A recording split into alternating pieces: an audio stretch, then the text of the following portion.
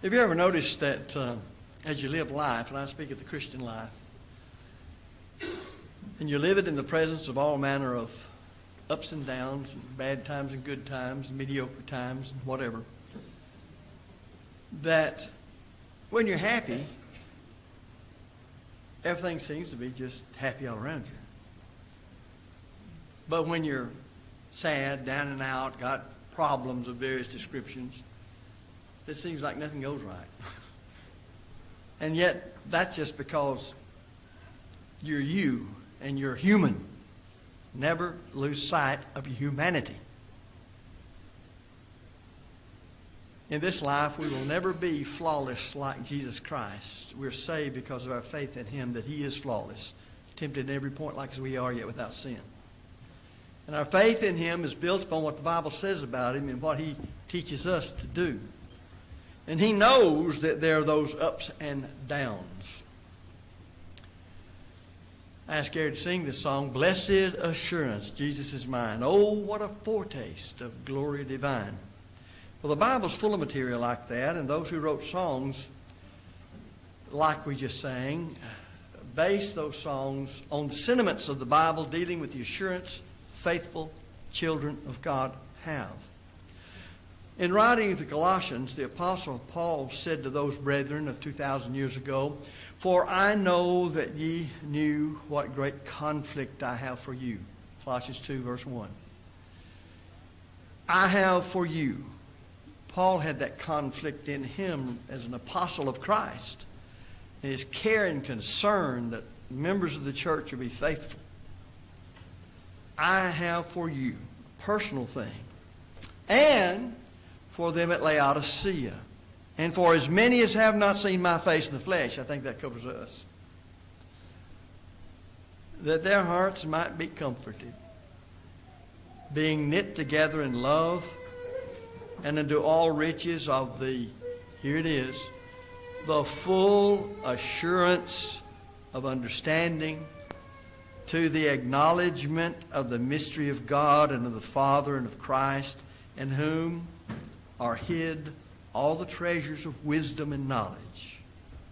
And notice he has their concern when he writes all this because he said in verse 4, This I say, lest any man should beguile you with enticing words. And then in verse 5, For though I be absent in the flesh, yet am I with you in the Spirit, joying and beholding your order and the steadfastness of your faith in Christ.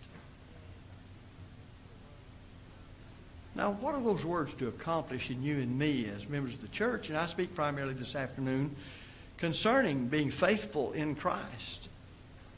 Well, they're designed to assure us that what we have believed and what upholds us is true. Have you ever had somebody over a certain matter assure you of certain things? Give you words of edification and encouragement? Have you ever, when your children were sick or hurt or maybe just had their feelings hurt or whatever, and you picked them up, especially they're small, of course, and you gave them assurance, you comforted them. Mama still loves you. Daddy's here. Why do you say those words? What, what meaning are they to a child? Well, they're designed to give assurance. You haven't been forsaken. When Jesus said to the apostles, And lo, I am with you always, even to the end of the age. Was designed to assure them, to comfort them, to cause them to keep on keeping on in the way that is right, the straight and narrow way. I think if you study your New Testament, you see there are a great many sentiments expressed designed to assure us and to strengthen us by that assurance. And of course, none of it works except that we know the book and we're all striving to live by the Word of God. John did this in 1 John chapter 3, beginning in verse 19. 1 John 3 19. And notice how he does it. Look at the solidity here. Look at the solid foundation giving them assurance. And hereby we know that we are of the truth and shall assure our hearts before him. Now here's what happens sometimes. For if our heart condemn us, God's greater than our heart and knoweth all things.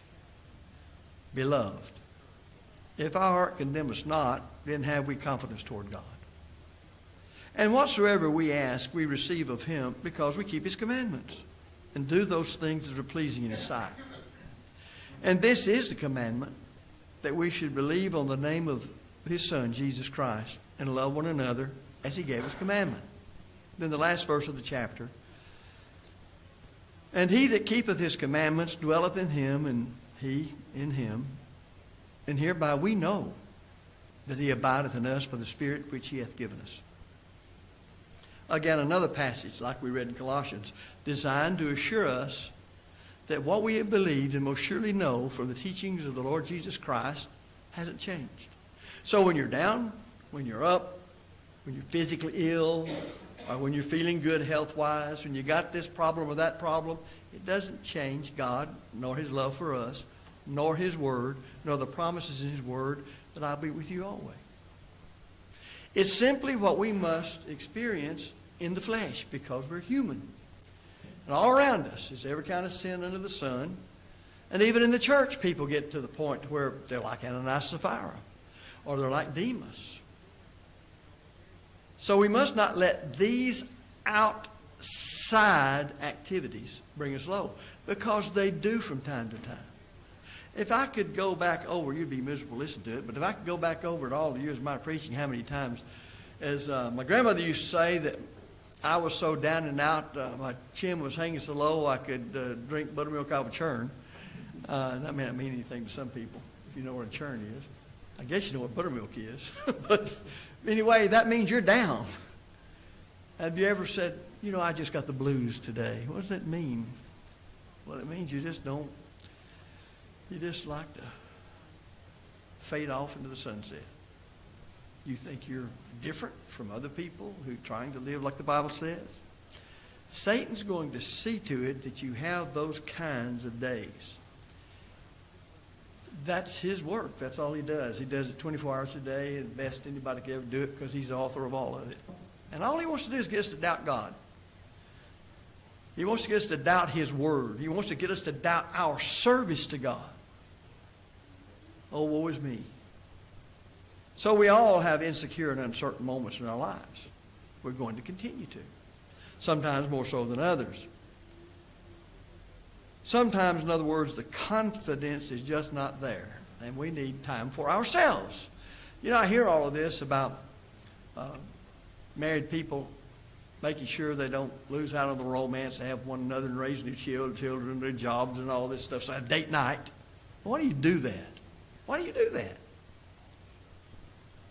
Well, it's trying to renew what started back there before you knew the vicissitudes of life and the ups and downs and whatever. And you're trying to keep that, quote, spark alive.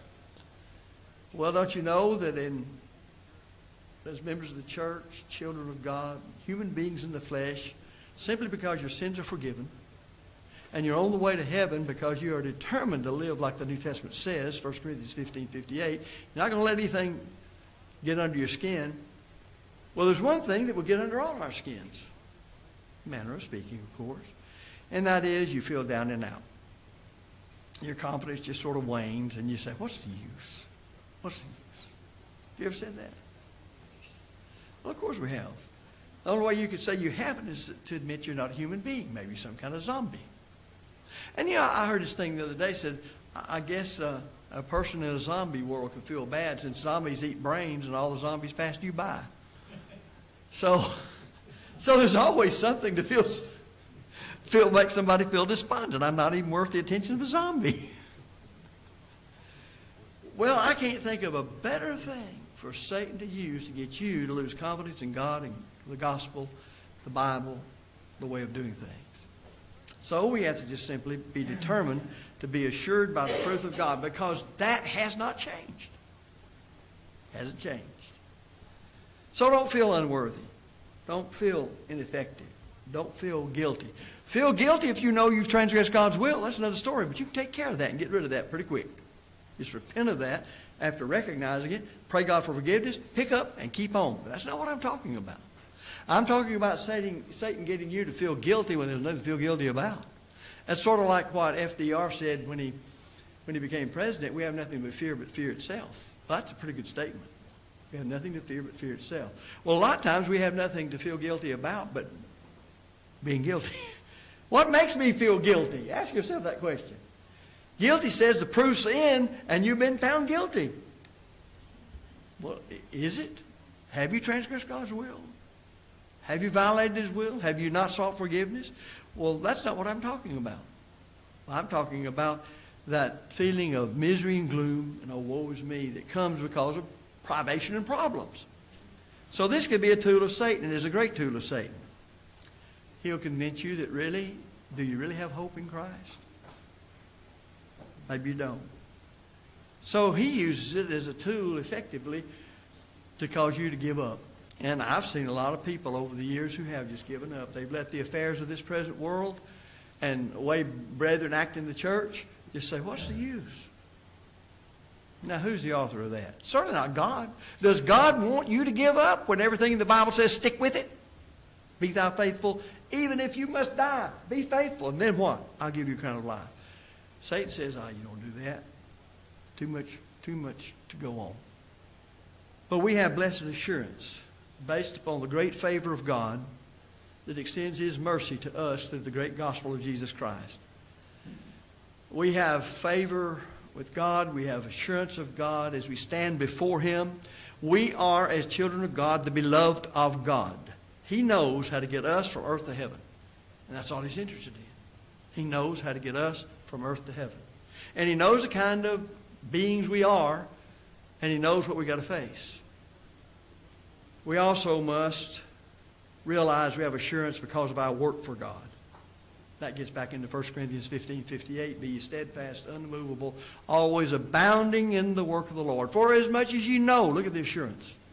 For as much as you know, your labor is not in vain in the Lord. We all need encouragement from time to time.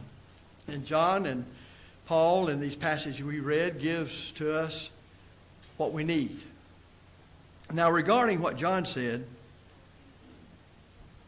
we need assurance to stand. It's easy, easy to stand when there's no opposition. That's so easy. It's hard to stand when there's opposition. We need to then, therefore, know we are standing before God Almighty, who's our Heavenly Father, and wants us to be saved. The image presented here is like that of a courtroom. The accused stands before the judge. Well, that's not too comforting a situation if you've ever been in court, not because you're accused. Some of us served on juries, we've seen the accused. We sit through trials and see what happens. But who is our accuser? I'm speaking of faithful children of God. Who is our accuser? Satan. He doesn't want us to place any trust in God. Can you really believe what God says? How do you know that's right? All you got to remember is how he approached Eve. All he did was get Eve to doubt the Word of God. There it is. That's all he did. That's all he did was get Eve to doubt God's Word. Hath God said? I've in many classes in college where people are trying to change the students from fundamental matters on God and the Bible, and they just ask questions. Create doubt. You don't have much assurance where there's doubt. You just don't. So he accuses us before God, making accusations against our morality, our character, our, our own faith in God. Is it really what it ought to be? Uh, our obedience. Are we as obedient as we ought to be? And he makes us begin to second guess ourselves. He accuses us before ourselves, even. One of the hardest things to do when you know the truth of God regarding salvation, you know when God forgives you because you read His Word and you understand it. And then when you obey the gospel and you do those things from the heart that God says is necessary for one to be forgiven of God, and then you still feel haunted. You know why? It's hard to forgive yourself.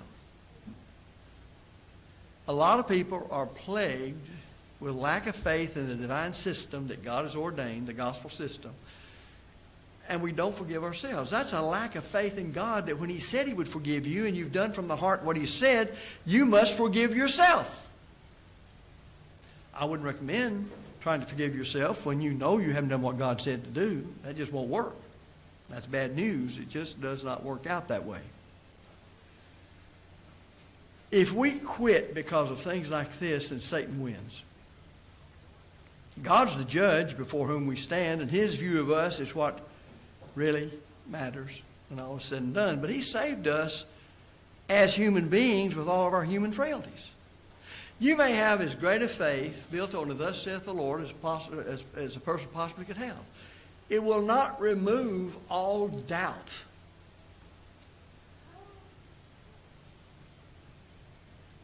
It should not create doubt, and the truth never does. But it's us. We're weak, and we're needy. That's the reason that we must spend much time in prayer and meditation on His Word and constantly be willing to see our faults. That's why Paul said his strength is made perfect in weakness. It's dependence on Him, which means depending on His Word, which means depending on your knowledge of it and your submission to it. Now, our judge knows we need encouragement. We've read a couple of passages, and there are many others like that. We have examples from the Old Testament where people had to be encouraged in doing what was right. Intellectually, they knew what was right. Intellectually, they knew God existed. Intellectually, they knew the requirements of God. But there's that human element. I think courtrooms are scary places when you consider yourself being tried for something. And that may mean all sorts of things happening.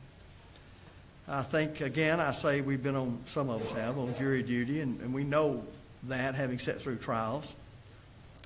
And you know what can happen with you and me, and it does, is our own hearts, our inward man, if you please, can be very cruel to each one of us and be very condemning because of Satan's efforts to create doubt in you in the word you intellectually know and admit to be God's word.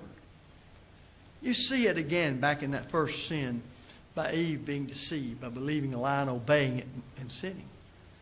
Didn't she know what God said? She did. She quoted back to Satan what God said. Well, then why did she do what she did? Because there's that human element. So God assures us in the truth of the gospel as we stand before Him that He's not stopped loving us. He hasn't stopped saying, I want you in heaven with me, and that I'm doing all that's possible to save a free moral agent in this world. It's all out there. It doesn't change, regardless how I feel about it. I have to remind myself of that. I have all these years. Still doesn't mean it doesn't get me down. It does very much sometimes. But you keep on keeping on. When you feel miserable, just keep on keeping on. And you will feel miserable. Anybody says that they serve God faithfully all these years, well, I've never felt miserable. I've always been upbeat. I've never been discouraged. I never need anybody to encourage me. Well, then why are you in this worship? If we all laud, laud and worship God together, it's designed to encourage you. What do you have in Hebrews 10 24? That we're to provoke one another unto love and good works. You mean I actually provoke you? Yeah. I can provoke you the wrong way, but I can provoke you to love and good works. And you do that by preaching the word. You do that by doing things that God enjoins upon us to do them. So even our worship, although it's directed to God, we benefit from it individually because of the assurance uh, that it offers us. And so we sing a song, Blessed Assurance, Jesus is mine. Oh, what a foretaste of glory divine. Heir of salvation, purchase of God, born of his spirit, washed in his blood. Well, why is that in there? What do you mean by that? What did that do for you? What did that say to the person sitting around you? Designed to assure. Keep on keeping on. Don't give up. I don't care how you feel. Sometimes you just want to go out and scream. Or as brother, as brother Wallace used to say, makes you want to take a file, gnaw on it, and flee into the wilderness. well, it's times like that. We're sure that Jesus is greater than our sin. I cannot commit a sin that's bigger than God. Let that sink in. Does that mean, therefore, I want to go about sinning? No, it just means that as I, from a proper attitude toward God and His Word, and continuing on, that He's ready to forgive. Now, there's a lot of folks done some very terrible, horrific things in their lives.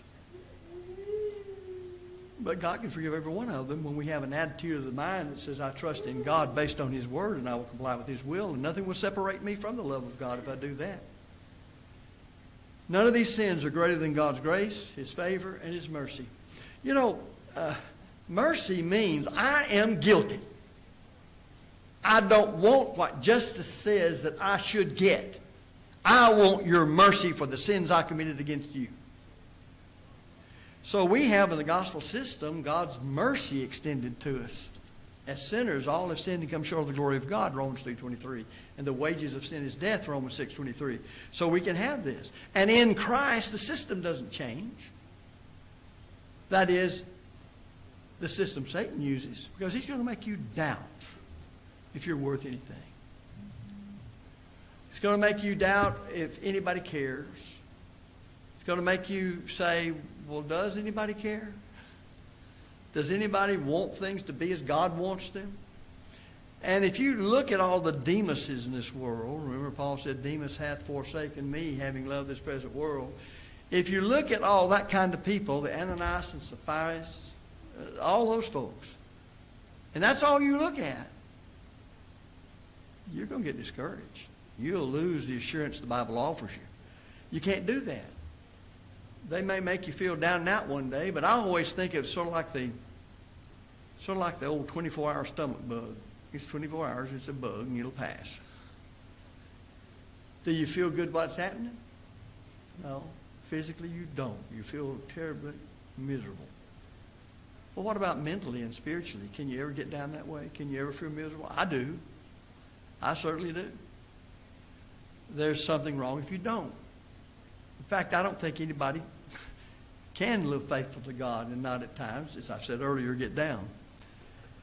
If you think about Christ and who he died for, he died for all men, but think of the different kinds of all men there are and how rank and terrible some of them are.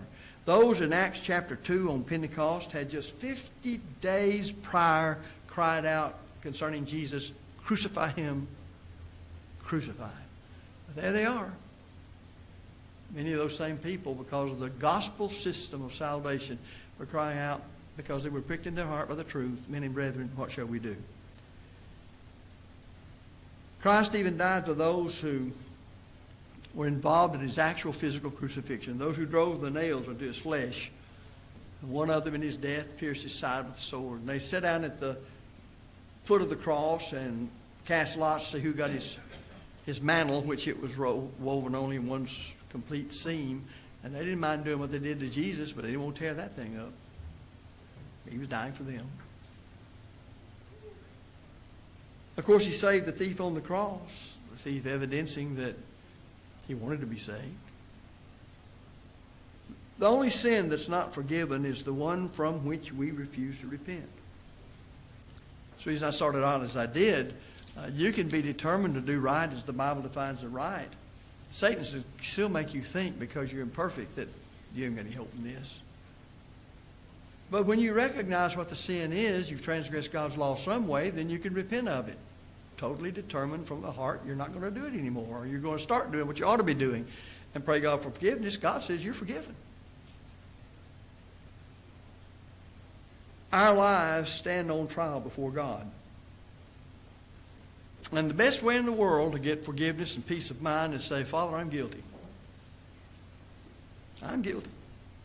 I did what I did because I liked it, when I knew it was contrary to your will, or I didn't know in my ignorance, but I was enjoying what I was doing, and I learned later it was contrary to your will, and I must acknowledge that. But a whole lot of folks, when confronted with the truth that condemns actions in their lives, they won't. They'll try to defend themselves.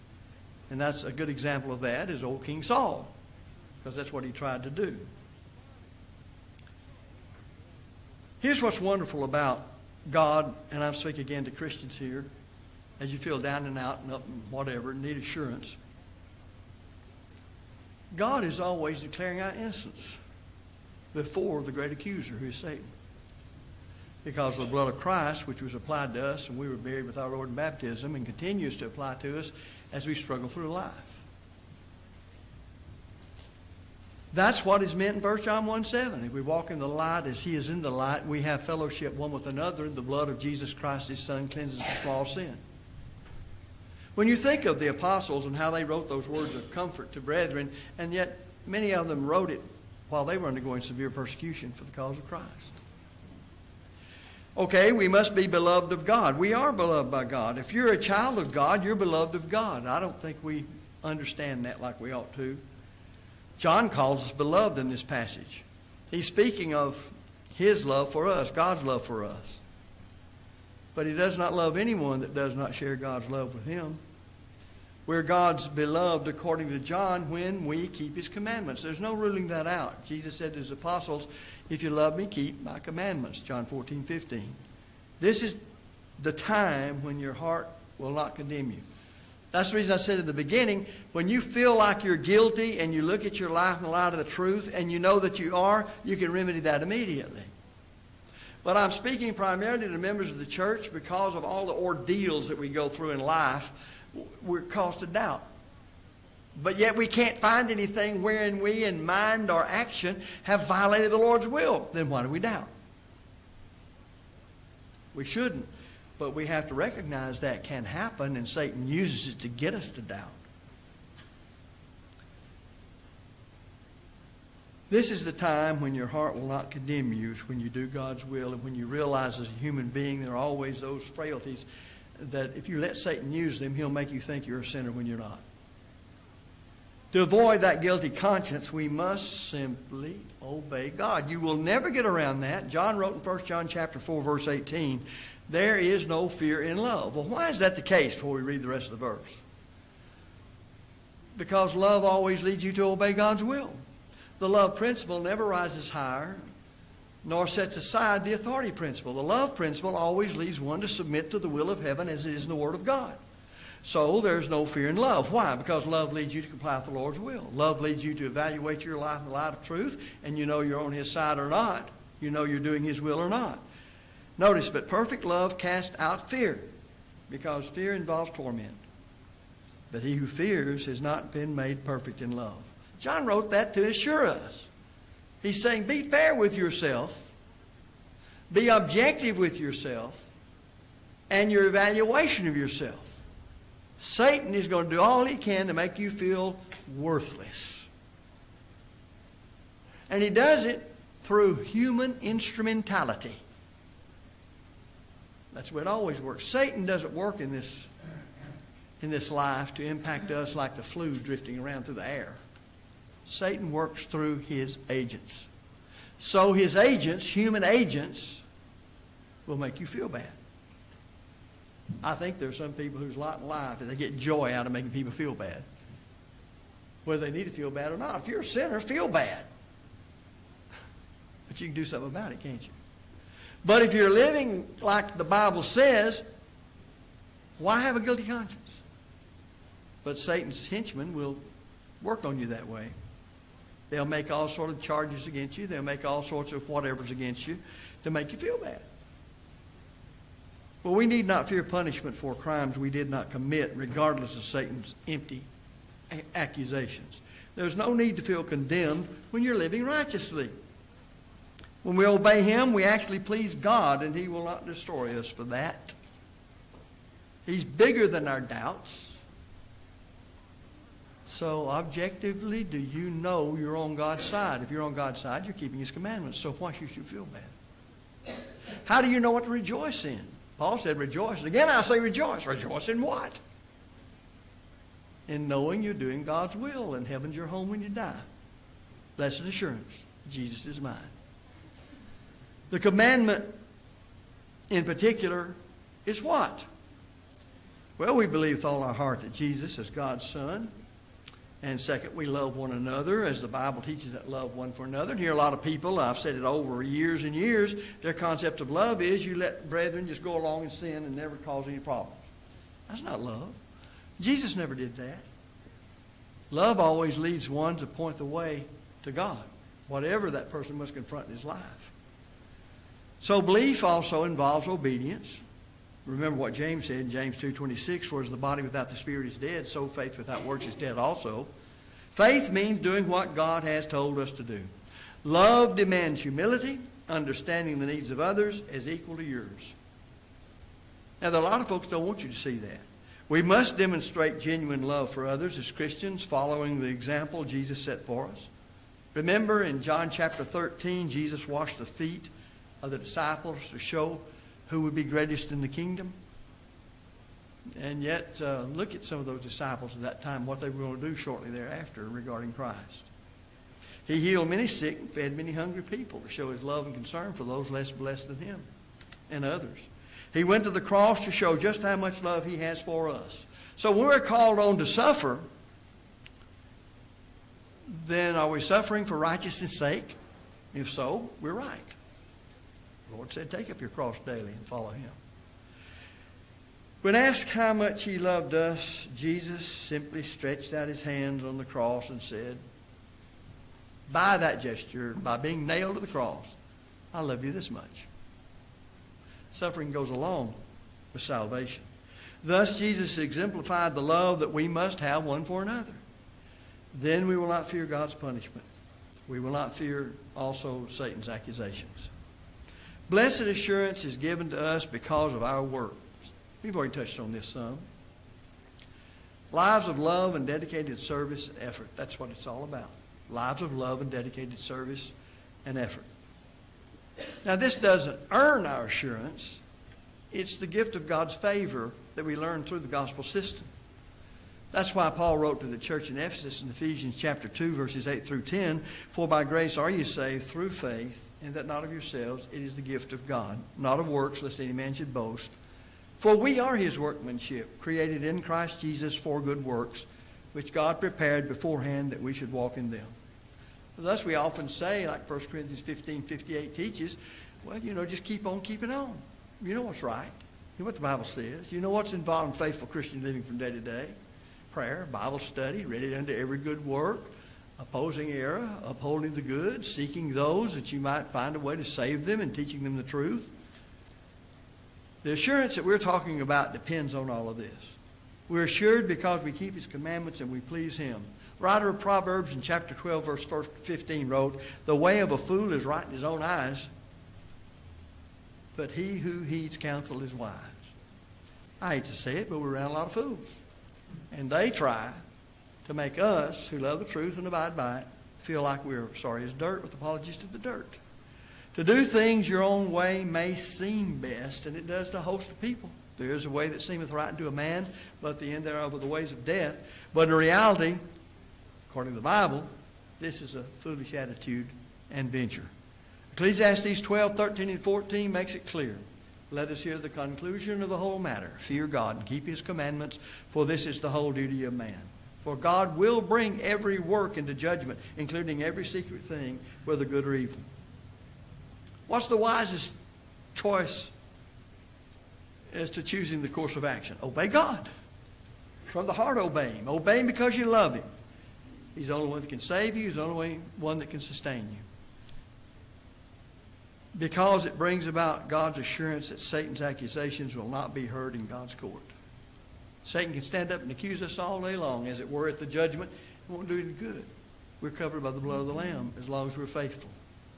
When you go your own way, Satan's accusations are true. You're trying to get to heaven on your own think so.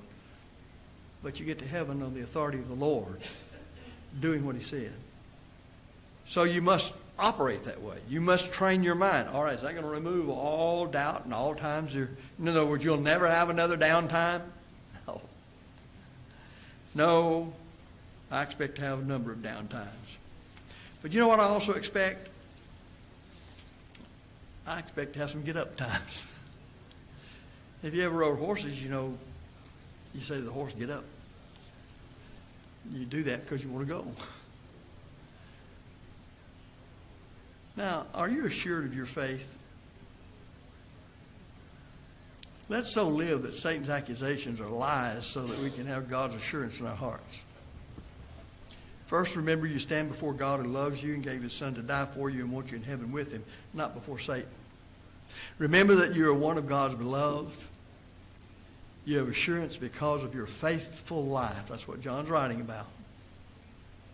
Live so that his blessed assurance will rest securely on your heart and you can ignore the tugs and traps of Satan's false accusations. And when you go out sometime and scream at the moon because you can't stand anymore, then just let the old uh, steam off and then back up and just put your shoulder to the grindstone and keep grinding. That's what's meant in 1 Corinthians 15, 58.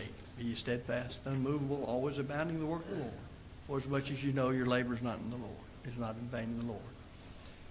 There's no other way around it. There's no waving of a magic wand. I asked a doctor not long ago, I said, Well, now you're a doctor. I said, uh, Is there some magic wand you can wave, make me lose 60 pounds before I leave the office? Well, there's not. And there's not any way to heaven and being faithful except that you go through whatever's necessary to get the job done. Now, the Lord knows that. And He's with us through thick and thin. Even when we're down and out, He doesn't depart from us. Even when we feel like the whole world's left us and our best friends and family's gone against us, if we know objectively we're doing His will, He hasn't left us. If objectively we see error in our lives, why, He tells us to repent of it.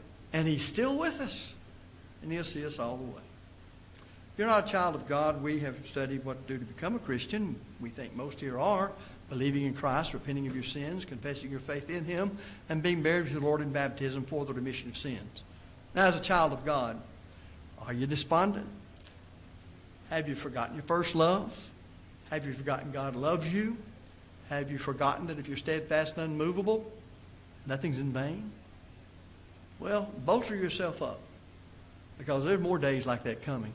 Because all who live godly in Christ Jesus shall suffer persecution of one kind or another to one extent or the other. Well, that was all written 2,000 years ago by God for us and our benefit. So, when you leave this afternoon from this building, you ought to leave fully reconciled to God. If there's any sin in your life as a child of God, you ought to repent of it, pray God for forgiveness, having confessed it. But leave here with full assurance of faith. Blessed assurance. Jesus is mine. Oh, what a foretaste of glory divine.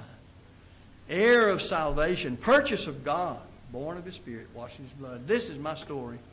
This is my song. Praising my Savior all the day long. That'll get you through. You may feel miserable sometimes, but just like that old virus, when you were bowing down before the white throne in your bathroom, the next day it'll be better. Even this shall pass away. If you're subject to the gospel call, we invite you to come while we stand and sing.